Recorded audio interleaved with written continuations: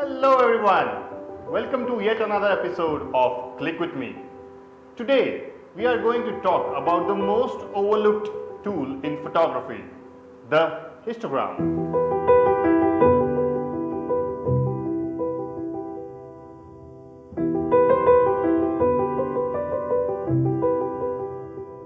Hi, my name is Captain Ojas and today I will help you understand what is a histogram, how do we read it, when do we use it and why do we use it. So let's begin with understanding actually what is a histogram.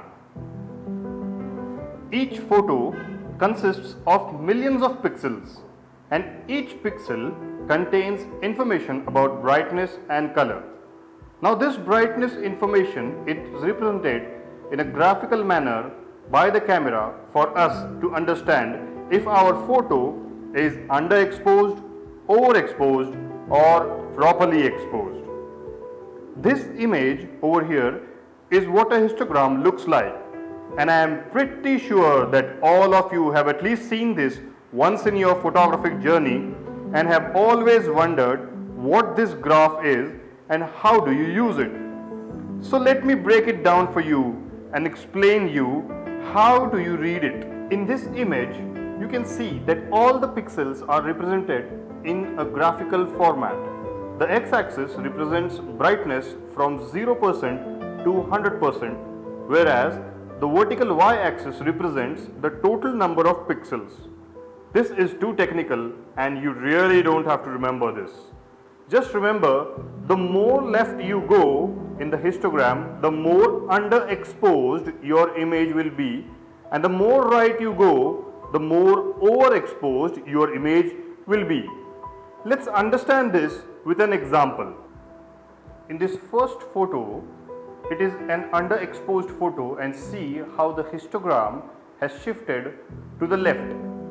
If the same photo we overexpose, see how the histogram shifts to the right side. So for all practical purposes, unless you are looking for a creative effect, you are supposed to keep the histogram peak in the middle to get the perfect exposure.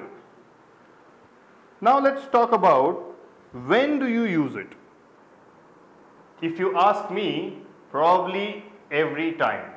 Every time you click a photo, I would suggest you keep your histogram on so that you will have a good practice of reading the histogram and you can start using the histogram to your advantage.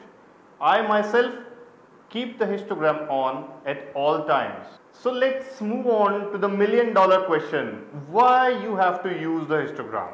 Whenever you click a photo, you judge the exposure of the photo by looking onto the LCD screen or if you are using a mirrorless camera, you would decide it based on what image you see on your EVF, that is the electronic viewfinder. But if you think the EVF and the LCD display are always adjusted for brightness and they are dependent on the brightness of the atmosphere and the surroundings. So, the image which you are judging your exposure on is not the exact exposure which has been captured in the camera.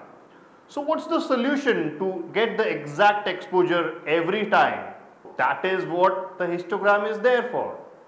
So, I hope I have answered all of your questions with related to histogram and for any more clarification you can always write to me in the comments section and if you are new over here don't forget to like and subscribe the channel and also do share this information with other fellow photographers.